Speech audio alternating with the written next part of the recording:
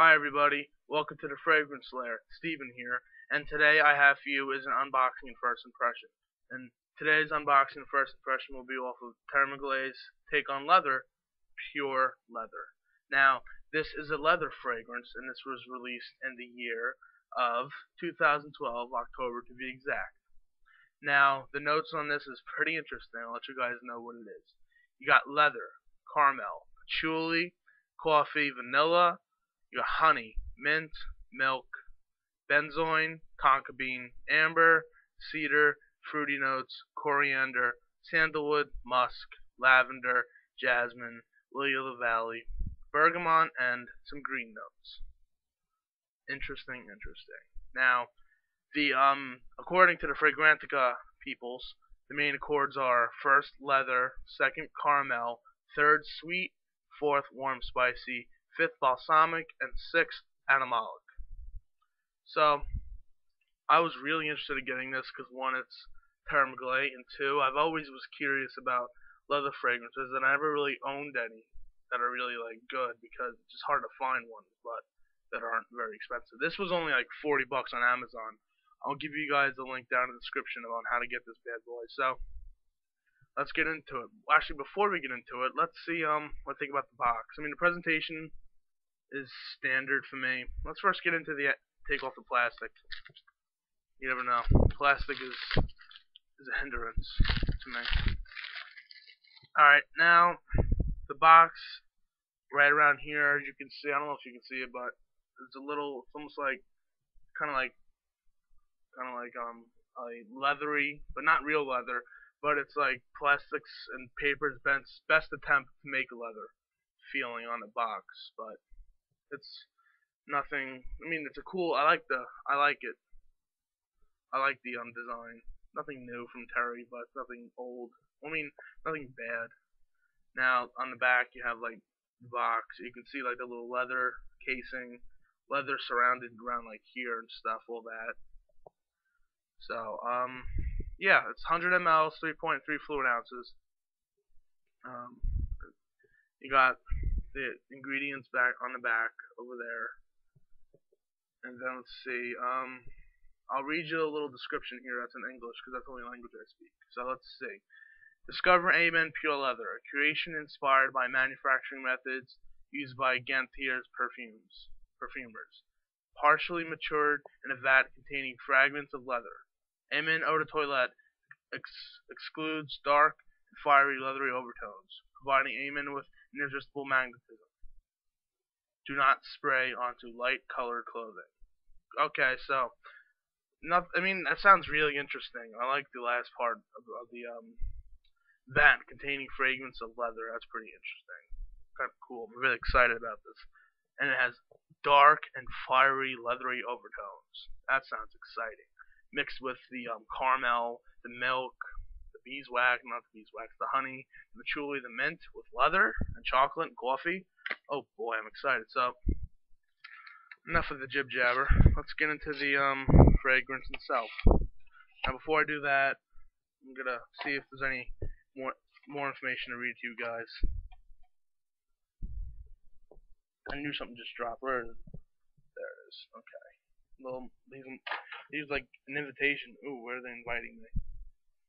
I've never seen this before. Wink, wink. I've seen this before, but hmm. um, is there on here worth reading to you guys? I don't know. I'll just read this to you.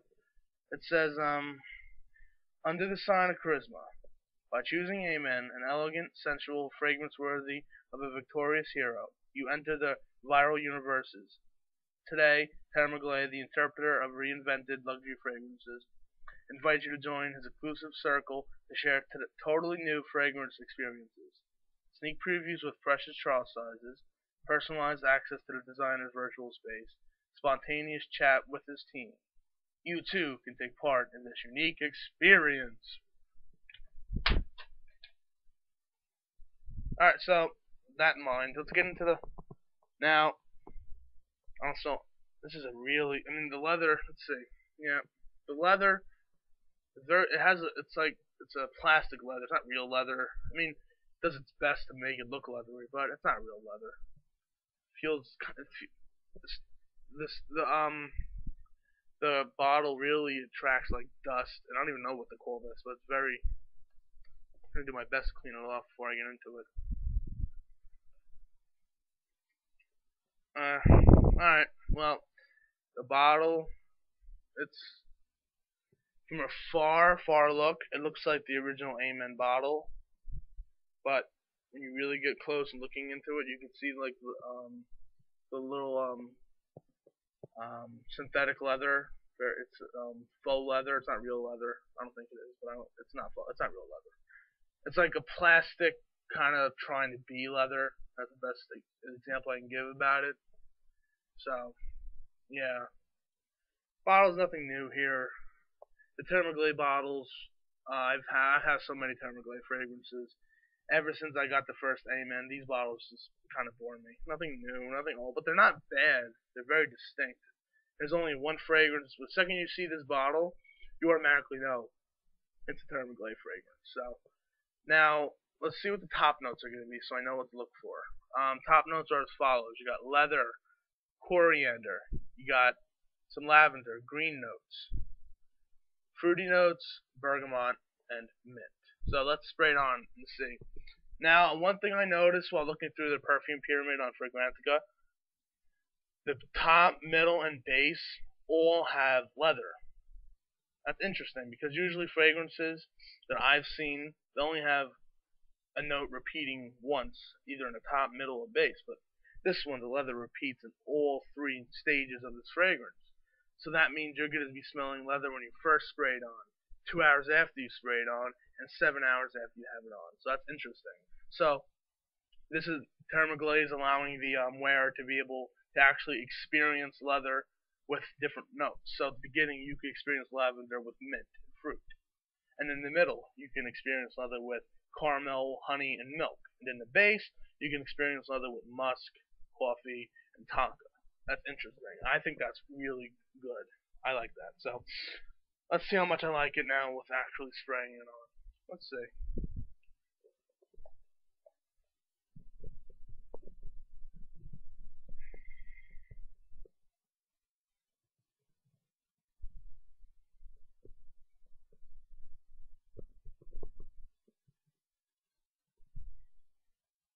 Wow. With this, the first initial scent, I get like a A*Men with a little animal tones to it. I do get a little mint in it also, but it's very. I mean, it's it's good, but it's kind of it's out of all the pures and um A*Men flankers I've acquired over the years, this is by far the closest one to the original formula, which isn't a bad thing, but it's just a little disappointing because I was hoping for a little bit more um leathery blast to it. I mean, you get some leather in it. It's not like a really strong, dark, fiery leather like it described on the box. It's a more mellow leather with the A*Men DNA really taking over, which isn't a bad thing. It just definitely is something I was expecting a lot more in this. But there is differences there is it is there's differences in this for sure, but not extreme differences. Like this is a lot more um, animalic for sure. I mean, personally, I think on the um, main accord and for Fragrantica, the um, animalic should be way up there. I mean, but it's still a very good fragrance. I get more coffee in this than I did the original caramel. And the um original A*Men, I get more um I get more chocolate, I get more patchouli, and I get more the tar. But in this, I get animalic tones, coffee, and caramel. If I would have to say on which ones I enjoyed more, either the A*Men or, this, the um, Leather, I am leaning towards the um, original. Because you can't beat the original.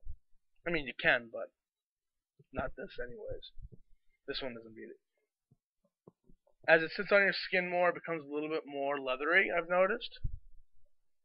but still not the leather I was hoping for. I was hoping for a very strong, potent leather.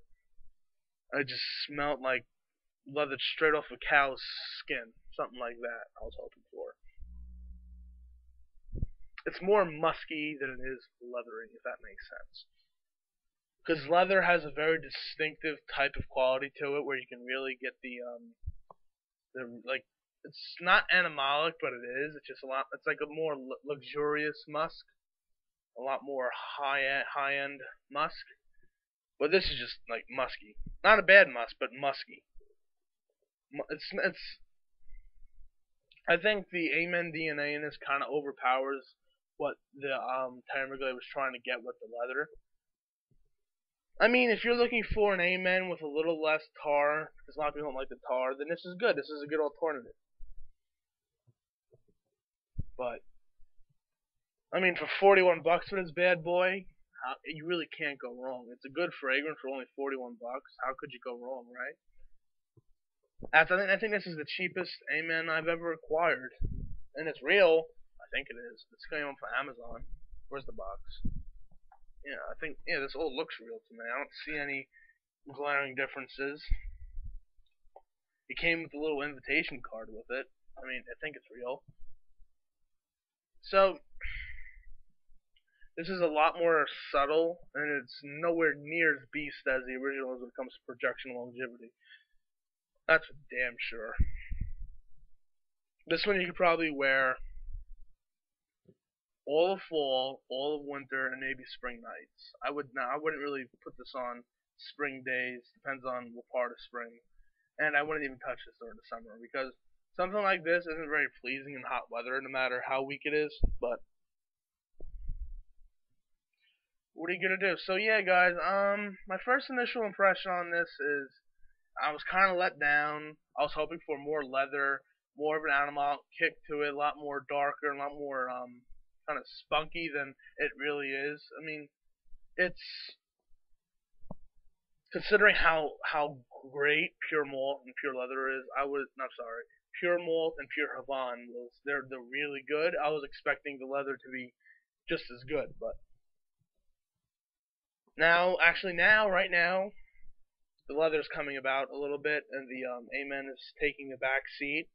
But yeah, yeah, you know when you're driving in a car, someone you're in the front seat, but someone in the back seat you can hear they're so annoying. It's kind of like that, but it's not annoying, but you can just you know, even though it's in the back seat, you know it's still there.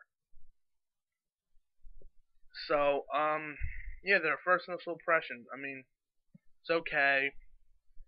It's probably one of my least favorites as of now, but as I wear it more and more and get more um, familiar with who this bad boy is, I'll be able to give a better judge on it. But as of now, it's probably my least favorite out of all the A*Mens. But that doesn't mean I don't like it. It's just all the other Thierry Mugler fragrances are so good, it's hard for this to really make it up there. I mean, it's better than at least 20 or 30 other fragrances I have in my collection. So, alright, well, enough rambling, guys. I hope you enjoyed this video. Holy crap, this is over 13 minutes? Wow. Okay, that's not that bad. I gave you some information, I guess. So, yep. this has been Steven from Fragrance Lair. I hope you have a good day or night. I am not time zone prejudiced. And just smell good and keep being happy. Alright, guys. Thanks for watching. Appreciate the support. Bye.